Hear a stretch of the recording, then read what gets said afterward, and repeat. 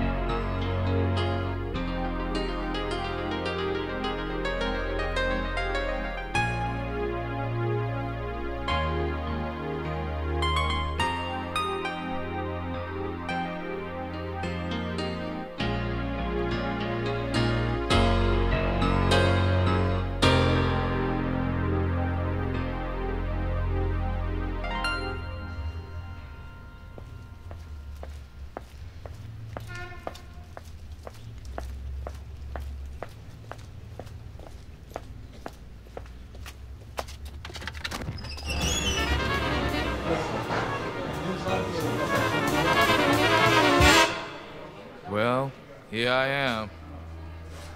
Right back where I was yesterday, the day before, and the day before that. Sitting on a high bar stool, holding my dreams up to the sound of jazz music.